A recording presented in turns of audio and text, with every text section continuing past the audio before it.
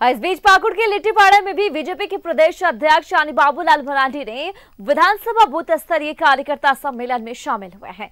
इस दौरान उन्होंने राजमहल लोकसभा क्षेत्र के प्रत्याशी यानी कि ताला मरांडी के पक्ष में मतदान करने की आम जनता से अपील की है।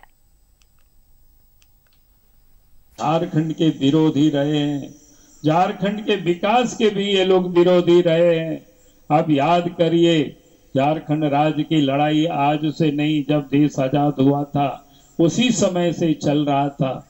लेकिन देश में 55 वर्षों तक कांग्रेस पार्टी ने राज किया और उस कांग्रेस पार्टी के साथ पहले झारखंड पार्टी, फिर झारखंड मुक्ति मोर्चा उन लोगों के साथ ही रहा, लेकिन झारखंड राज नहीं बना।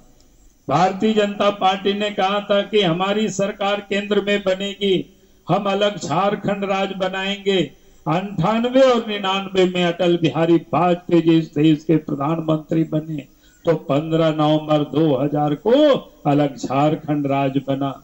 और यहाँ से ताला मरणी जी को जिताएँगे, और देश में नरेंद्र मोदी जी को फिर से प्रधानमंत्री बनाना है। यही निवेदन और यही अपील करने के लिए मैं आपके बीच में आया। हिम्मत के साथ आलोक धमकी भी देते हैं। भारतीय जनता पार्टी का कोई कार्यकर्ता आएगा गाँव में? लाठी से उसको मार के भगा देना। कोई माँ का लाल एक भारतीय जनता पार्टी को लाठी मार के भगा नहीं सकता नहीं तो अजमा करके देख ले। मैं इस मंच से कहता हूँ